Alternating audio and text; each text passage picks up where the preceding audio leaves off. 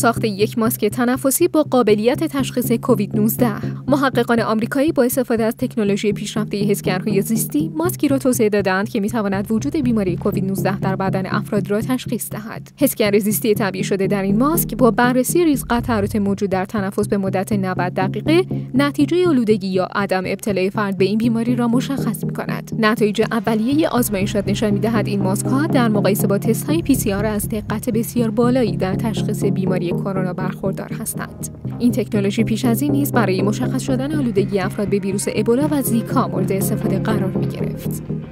شناسایی گونه ای جدیدی از انسان تیمی از محققان چینی، استرالیایی و بریتانیایی توانستند معمای مربوط به جمجمه کشف شده در شمال شرق چین را حل کنند. این جمجمه که اندازه آن از جمجمه های مربوط به گونه های مختلف انسان بزرگتر است، در سال 1933 در نزدیکی شهر هاربین کشف شد. اما محققان نتوانستند اطلاعات دقیقی به دست آورند. در حال حاضر، محققان این سه کشور اعلام کردند این جمجمه مربوط به یک گونه ناشناخته و منقرض شده از انسان است و نزدیکترین خویشاوند انسانهای کنونی به حساب می آید. بررسی های دقیق تر نشان داد جمجمه کشف شده دست کم 146 هزار سال قدمت دارد. کسب مجوز سفرهای فضایی توسط یک شرکت آمریکایی ویرجین گالکتیک به نخستین شرکتی تبدیل شد که توانسته است مجوز حمل مسافران به مرزهای فضا و انجام سفرهای فضایی را از اداره هوانوردی فدرال آمریکا کسب کند. این شرکت آمریکایی قرار است در ماه‌های آینده سه پرواز آزمایشی از جمله نخستین پرواز سرنشیندار با ظرفیت تکمیل را انجام دهد.